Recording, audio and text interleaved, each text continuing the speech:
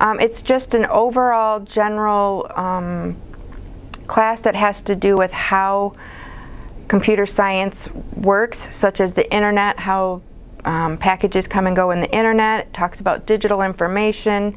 We get into some basic programming and you guys learn to um, program your own apps. This elective can be also considered a fourth year math credit um, for those that are interested.